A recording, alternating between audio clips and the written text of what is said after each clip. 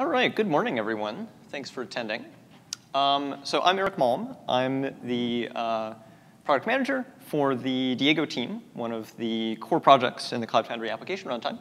And today I'd like to give you an update on some of the things we've been working on since the past North American Summit. Uh, so first, some administrative business. If there's a fire, remain calm, exit according to the signs, convene outside. Uh, all right, so first, uh, let me give you a brief introduction to what Diego is, in case you haven't heard of it before. So uh, Diego is the container runtime that's tailor-made for the CF application runtime. So it's actually a, a, fairly old project at this point. We initially started development to replace the previous system, the DEAs, back in January of 2014. And about a year and a half later, we reached a point of parity and stability that we said was generally available for use. About a year after that, we demonstrated that we could run a quarter million containers in a full CF environment stably. And so at that point, that was our milestone for declaring 1.0 on the release. And that started the deprecation clock on the DEAs, which were removed six months later. Uh, and then lately, uh, we had another major version release a couple of months ago, kind of clear out some of the, uh, and simplify some of the configuration in the release, while still preserving the ability to upgrade across major releases, as long as you're hitting adjacent ones. Uh, so today, I'd like to give you a brief overview of how the Diego components fit into the Cloud Foundry application runtime, uh, and then a few selected updates about what we've been doing. Uh, so one thing I'd like to tell you about is how we've been improving the stability of performing active health checks against application containers. So we've seen a few issues arise there. Uh, and then uh, switching gears a little bit to tell you about some security improvements that we've been making uh, around some instance-specific credentials that we're supplying to containers and how we're improving the platform on top of that. Uh, finally, if you're responsible for operating Cloud Foundry, you may be interested in some of the improvements we've made to our operator tooling that lets you inspect the internals of the system um, more conveniently. And then finally, I'll tell you a little bit about some of the next steps that we're thinking about in the months ahead. Uh, so first, if you've been using Cloud Foundry, then you're likely more familiar with more external-facing components, such as the cloud controller or the Go routers that handle HTTP traffic. And you've almost certainly experienced the magic of running CF push and very quickly observing your build pack or your Docker image or now even your Windows applications running on the cloud. So let me tell you a little bit about how that's, what's happening under the hood here uh, to get those application instances running. All of these instances are running as containers inside of Cloud Foundry's container engine, which we call Garden. And Garden is great at its job, which is to execute containers, create them and run processes in them. But it's also very intentionally a local system. It knows how to run containers on its local host. But it doesn't know about the rest of the distributed system that constitutes Cloud Foundry. And that's where Diego comes in. So Diego is responsible for organizing placement and execution of those containers across dozens or hundreds or thousands of container hosts, and ensuring that they're all doing the right thing and they're all uh, running according to the desired state that all the application developers have pushed. In order to do that, the core of Diego has some dependencies. In particular, it relies on a consistent data store to coordinate a lot of this activity. And nowadays, that's a SQL database, so MySQL or Postgres. And then the components themselves also need some degree of coordination so that they can be behaving correctly amongst themselves. Uh, in the past, we've used Consul for that, and we've been uh, introducing our own replacement for that uh, because of some issues we've seen around using Consul and BOSH together. Uh, and then finally, if you're using Diego release, it includes some ancillary capabilities, uh, most notably the system that enables SSH access into application containers. Uh, so I'd like to do a little bit more of a deeper dive into how these components are arranged in a typical CF deployment, such as one that you might get from the CF deployment repository on GitHub. So if you've been using that to deploy Cloud Foundry, um, you're most likely familiar with Diego from the Diego cell instances that that deploys. And as you might guess, that's where Garden is running on each host in order to do its job of creating containers and running application processes in them. But as I mentioned, Garden is this local system. And so Diego starts to come into the picture here to connect it to the rest of the Cloud Foundry architecture. So the first core component of Diego that lives on the cells is what we call the cell rep, or representative. And this is responsible for registering the presence of the cell to the rest of the distributed Cloud Foundry system uh, for managing that local garden to do its job of making containers. Um, it also does some accounting for the memory and disk allocations that it's making for those containers. Uh, and then finally, it's uh, responsible for downloading some of the assets like the droplet and build packs that go into those containers to do various types of tasks. And so it caches some of those depending on the data that comes in. But the reps themselves are not receiving that work directly. And that's where the other core components of Diego come in. So the next instance group that you will likely have seen from CF deployment is called the Diego API. And that's where the BBS, the next main Diego component, lives. And that's responsible for providing the public API to the rest of the Cloud Foundry subsystems so that they can submit work and inspect how it's going uh, after they've submitted it. And the BBS also understands the particular types of work that Diego is capable of running, namely long-running processes, or LRPs, and one-off tasks. And it enforces the various lifecycle rules and state transitions for those as it manages them across the system. The one thing that the BBS doesn't do, though, is make direct decisions about where that work gets placed. And instead, it delegates that to the third core Diego service, which is the auctioneer. Nowadays, in a CF deployment-based deployment, it's a little redundant, uh, that's living on a VM or instance group called the scheduler. And so that auctioneer is responsible for receiving work to be placed from the BBS, communicating with all the cells that it can find, and deciding optimal placement based on that up-to-date set of criteria. Uh, lastly, I mentioned this locket component that we've been introducing. Um, this is responsible for coordinating many of the distributed locks and the cell presences that the rest of the control plane needs to find the active instances of these services. So in particular, you'll notice on this diagram that we have many, many instances of each one of these instance groups. Um, but for the BBS and the auctioneer, only one of them is active at a time. And so Locket helps coordinate that activity.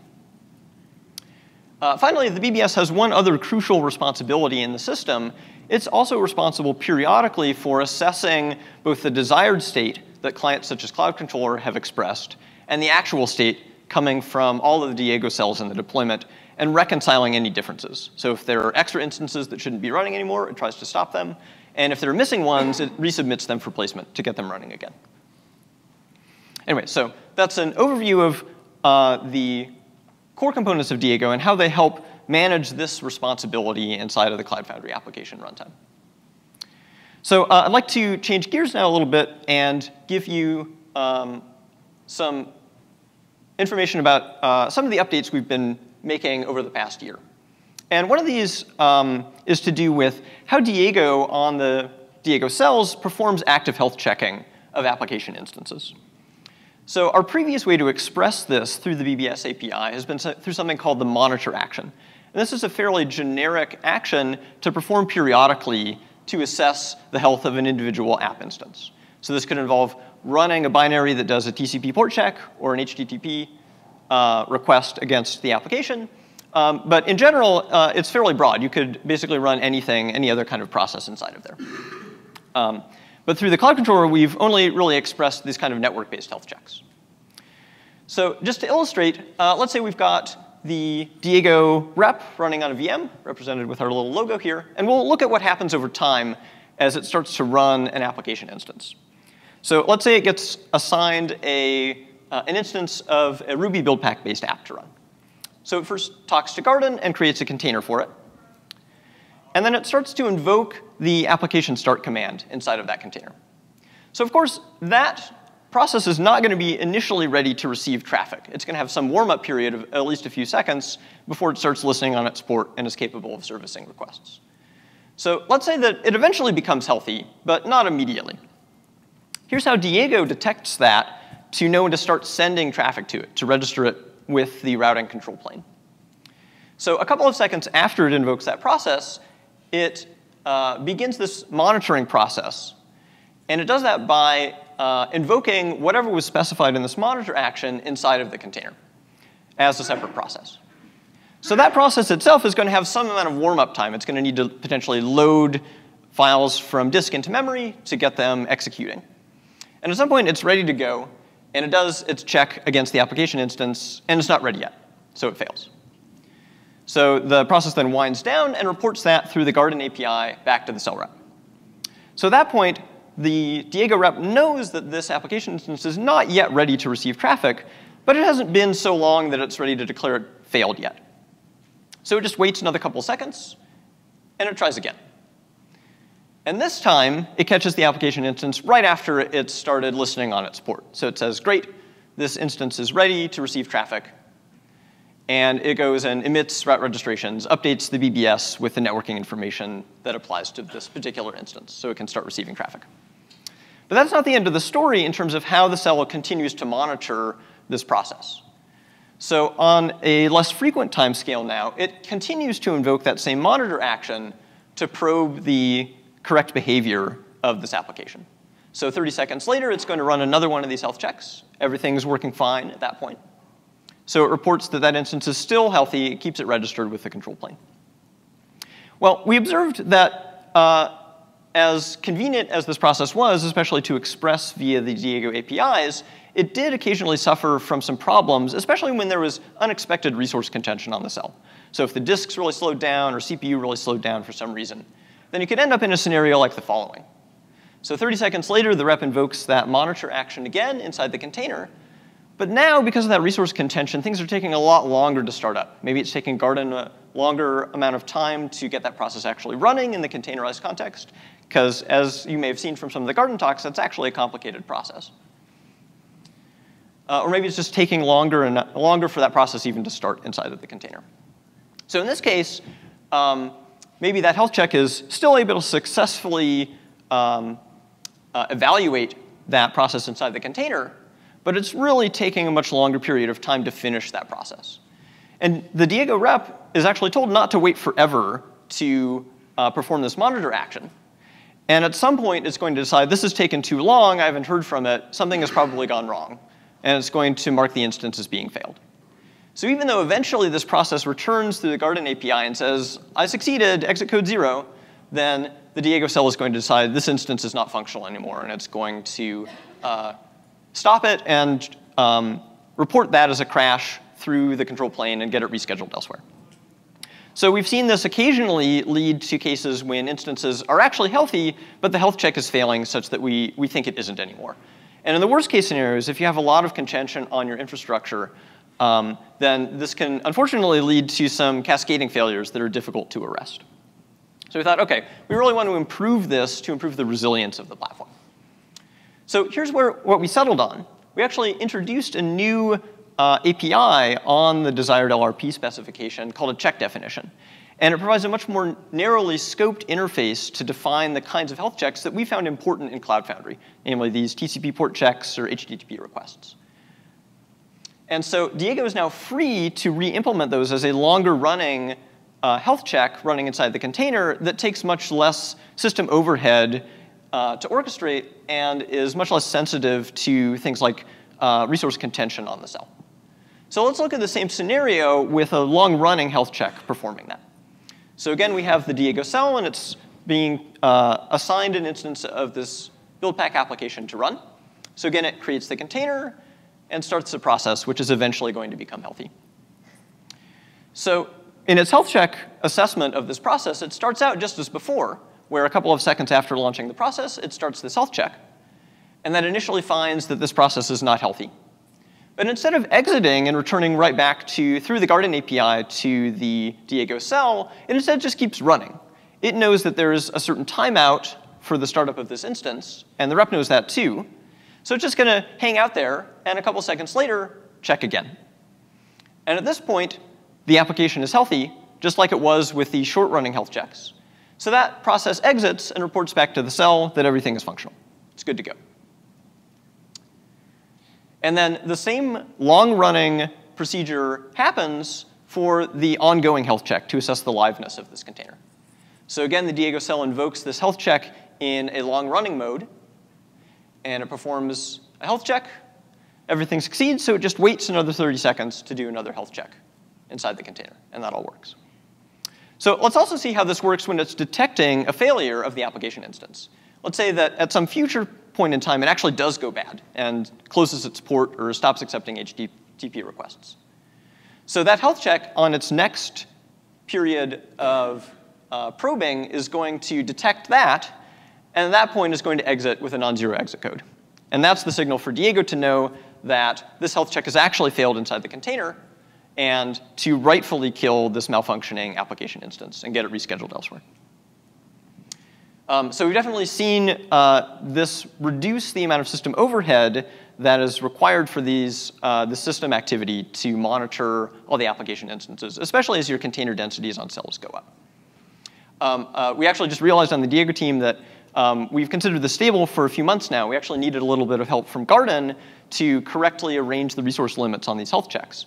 Um, and uh, we just uh, had forgotten about declaring it no longer experimental and stable. So um, hopefully next week sometime, this will become just the default deployment option inside of CF deployment to run this way. Uh, but you can easily opt into it now with an ops file. Uh, okay, moving on a little bit, I'd like to tell you about some of the security primitives that we've been incorporating into the platform and that we've been finding really useful to build on for other uh, system enhancements. And so uh, we've been calling these instance identity credentials because they're a short-lived, per instance specific set of credentials that we issue to every container running on the platform. So uh, to illustrate, let's get another Diego cell up on, on the screen here. And it's going to start running uh, an instance of an application here. And associated to that application container are several different unique identifiers.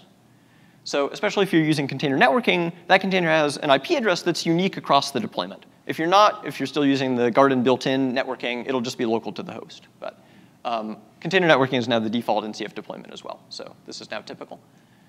Uh, and then there's also an application GUID associated with this container uh, that's associated to the identifier that Cloud Controller uses to track this application. And then finally, each instance of this application has its own unique identifier uh, that's also the same as the container handle. It's the host name inside of the container. So these are all identifiers for this unit of work that have different meanings in different contexts. So what the Diego cell does is it encodes those identifiers into a certificate and key pair that it then supplies inside the container. So application processes can make use of it to identify themselves as a particular unit of work on the platform. And it does that before it even invokes the application start command so that it's all ready to go when your Ruby or your Java process starts up. It can just find them in a location that's determined by environment variables. So let's take a look at the contents of the certificate and see how it's encoding that information to make use of. So uh, because this is an X509 certificate, of course it has a subject, and that's where we put some of these logical identifiers for this unit of work. So that application comes in as an organizational unit in that subject identifier. And the instance uh, identifier is present as its common name, which uh, we thought made no sense because it matches the host name inside of the container.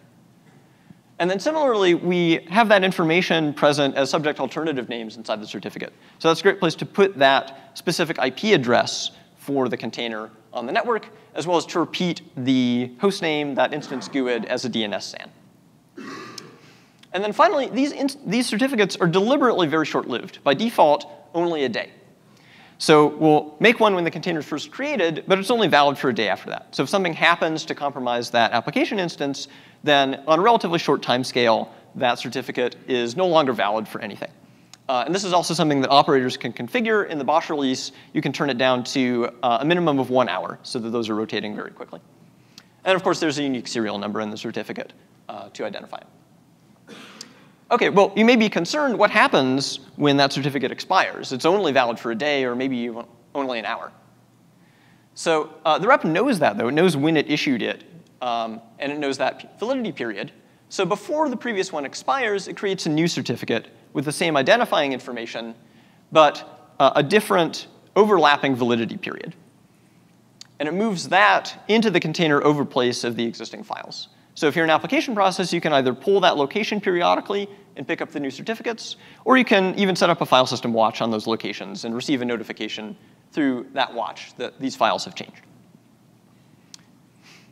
Uh, so this is, I think, a really interesting security primitive on its own, but it's also allowed us to do some increasingly sophisticated uh, improvements to how uh, we're running application instances and routing traffic to them. And I think the most exciting of those um, that we've developed is something that we're calling route integrity.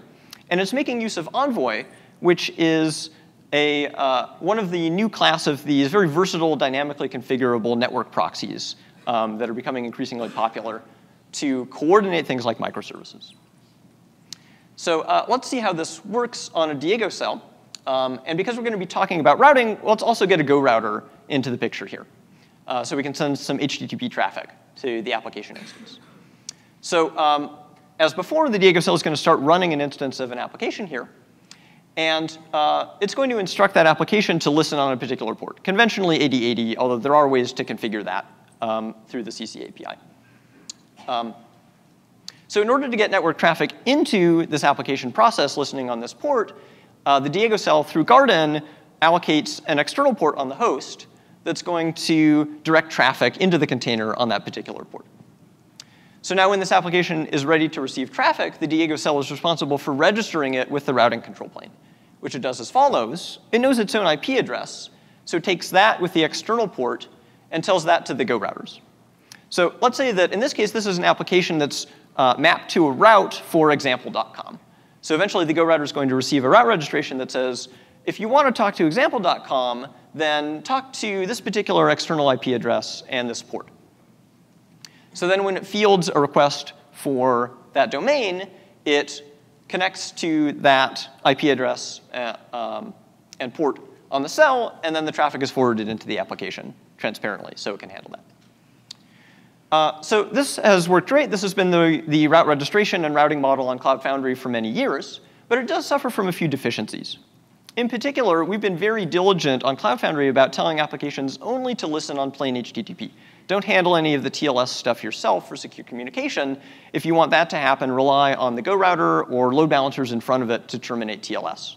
And uh, that, of course, means that the Go router to container link is always, in this model, plain HTTP, which some people have been concerned about as a security risk. Um, and in the worst case scenario, it does mean that if the Go router doesn't receive an update to its set of registrations, but the containers are still moving underneath it, it could eventually end up misrouting a request to a different container on the platform. And to defend against that, the policy of the Go routers has been to, if they haven't received an update about a particular route uh, within two minutes, they'll drop it out of the routing table. They'll prefer to lose availability instead of losing consistency in terms of what they're routing to. So uh, we said, well, this is not an ideal situation because if there's some sort of network outage in the control plane, we don't want that to affect the data plane, how messages are getting to applications. And we figured out that with these instance identity certificates and this new breed of proxy, we could resolve that as follows. So in this model, when the cell is opted into this configuration, it's going to run this Envoy proxy inside the container as a separate process that it knows how to manage. And it's going to configure it dynamically as follows it'll tell it to start listening on a separate port from that application instance. And on that port, it's going to terminate TLS using those instance credentials. And once it does that, it forwards the traffic to the application port itself. So now the Diego cell, once it's determined that that's all up and running, uh, knows that it's going to uh, allocate a separate port on the host to be directed to the port that that Envoy proxy is listening on. And when it registers this instance to the Go router, it instead includes an alternate registration with that port and its external IP address. But it has a couple other pieces of metadata there to allow the Go routers to do the right thing. So it first tells it that this is a TLS route instead of a plain HTTP one, as, been, as has been the default. And it includes the specific identifier that's baked into that instance identity certificate. So then when the Go router gets a request for example.com, it prefers connecting to that TLS capable port over TLS, and it starts the handshake. And at that point, it verifies that the subject name that's coming um, in that host certificate matches the identifier of the instance that it was told about. And in this case, that works. So it finishes the handshake successfully and then sends the request, which is then transparently proxied to the application. So the application behavior doesn't need to change at all, and we're just using Envoy to terminate TLS inside of the application container and proxy the traffic. Uh, Envoy's dynamic configuration is also great here because when we rotate the uh, credentials, then we just dynamically reconfigure Envoy with the new TLS context to terminate. So it's all seamless. Existing connections continue transmitting data until they're closed, and new connections get the new set of credentials for their handshakes. Um, all right. So uh, this is, again, an optional feature inside of CF deployment at the moment. You can use an ops file to opt into it. Um, we're also doing a little bit of fine tuning in terms of how we account for the memory usage of these Envoy proxies, because of course that's not for free. Um, and so we're, uh, we're continuing to make that more sophisticated. Uh, but if you're willing to give it a little bit of extra room to allocate memory, then this can be a great way to improve the security and the resilience of your routing tier inside of your CF deployments. Uh, finally, I'd like to give you some updates uh, about what we've been doing with some of our operator tooling. Uh, in particular, we have a tool that we call CF Dot, or the CF Diego Operator Toolkit, uh, which we kind of think of as a command line tool for the Diego APIs. Most of the APIs are binary encoded with protobufs, so they're not very friendly for use with curl. And so instead, CF Dot has a set of commands that are intended to interact with those APIs and translate inputs and outputs into streams of JSON. So in particular, you get a stream of JSON objects on standard out, which is great for piping into commands like JQ for further processing, or even into your line-oriented Unix utilities uh, to do some ad hoc data analysis about your deployment. Uh, in particular, we even have a BOSH job that compiles CF dot and deploys it with JQ and even puts them on the path for you. So you can just drop into one of the Diego instances in your deployment and use this tooling to inspect very quickly. Um, so when I talked about this at Summit last time, I think we had just reached parity with all of the BBS APIs in terms of having CF dot commands for those. Uh, and since then, we've added one that allows you to get a running stream of all of the events about tasks that are happening in your environment.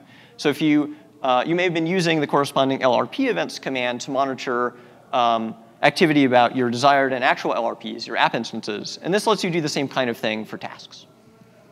Uh, we also added commands to interact with the API that Locket presents. So if you want to inspect locks and cell presences or manipulate them, then you can do that using CF dot. Uh, and then finally, we've added some commands that let you inspect the state of individual cells or even all the cells in the deployment.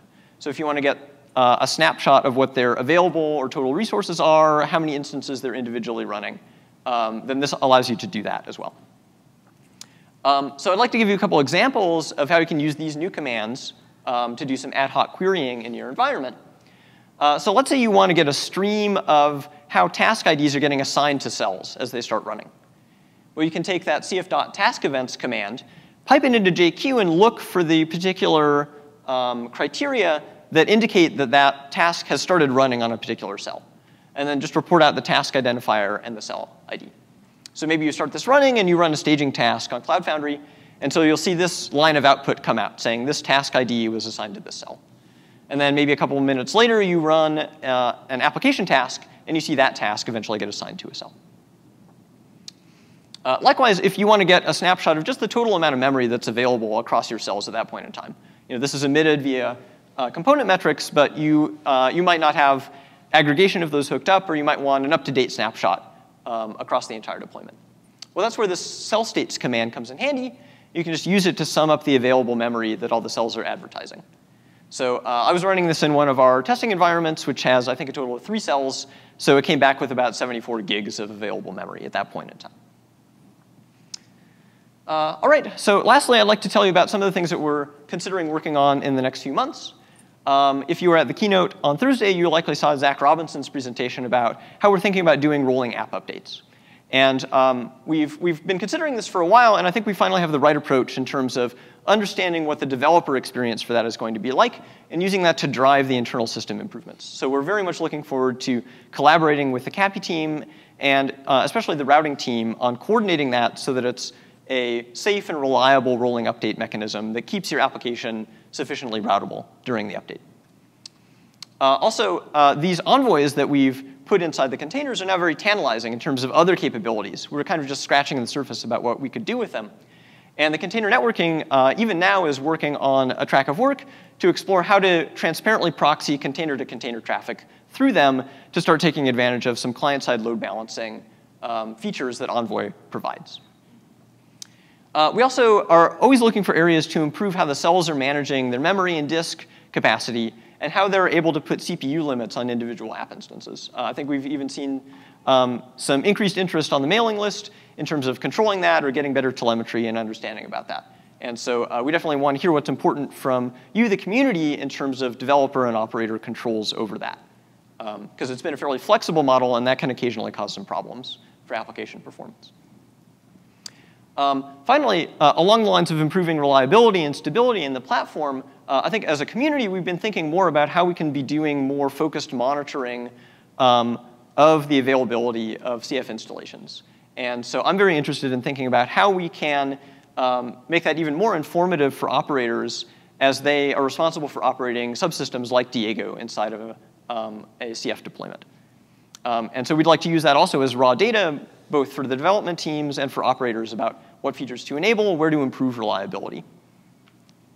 And along those lines, we're of course always very interested in improving the general stability and security of the platform. So uh, when any kind of security issues arise, or if there's a severe stability issue, that's a top priority for us. Uh, so I think uh, we're about out of time, but maybe we could field a question or two if there are any. Yeah. So SPIFFE seems to be emerging as a standard for certificates for app identity. Is there a plan to perhaps modify the app identity certificates to use that standard? Yeah, so the question is about SPIFFE as an emerging standard for metadata in, in app certificates. Uh, yeah, I think we're very open. We don't have a current plan to do that, but uh, I know especially some of the people that are involved um, with identity management on the platform as a whole, so like the UAA team, um, they have a lot of ideas that are coming out of the activity around that kind of identity management on the platform. So as we begin to see that standard emerge in the community, we'd be very interested in um, uh, integrating with it to provide a, a, potentially more federated model for identity across uh, Cloud Foundries, Kubernetes, anything else that's adopting SPIFFE as a standard. Yeah.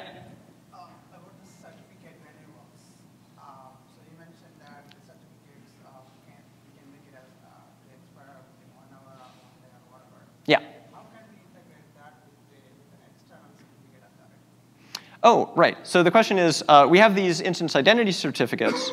Uh, how, do you, how would you integrate them with some external service? Uh, so at this point, those certificates are all derived from um, a root CA that the platform knows about. And so the Diego cells, uh, they get their own certificate authority to, to issue those certificates. Uh, so it would merely be a matter of getting access to the CA certificate for that root authority and uh, having your external service be able to trust it. So uh, if you are operating in a BOSH context, you're likely to have access to that as one of the variables that goes into the BOSH manifest. Um, but if there are other ways that we can more conveniently expose it, maybe through the, the v2 info endpoint on Cloud Controller or something, so that uh, some other service could discover the platform and decide how to trust application identities. That'd be very interesting, and I think a, a relatively straightforward capability to build out. But we'd also certainly want to understand the acceptable workflows because we, you know, we realize that there are there's a sensitivity to ensuring that you have the correct trust bootstrapping model for that. So you know, we, we want to make sure that you're not getting a bogus certificate and then somehow accidentally trusting bad traffic to those services. Do you plan on adding the ability to run a shell script for the declarative health checks? Oh, uh, question is about can we run a more generic um, uh, command uh, as part of the health check? Um, so I think uh, that's uh, a potential capability. We wouldn't have a current plan to do that, but if it's something that we could uh, figure out how to express appropriately to developers through the CC API, it'd be straightforward to extend that existing definition to accept that as a type of health check. And again, we'd be able to arrange it as this kind of long-running implementation inside of the container to um, uh, ideally reduce the amount of resource usage required for that. Yeah, uh, one more question. Hey, Tim.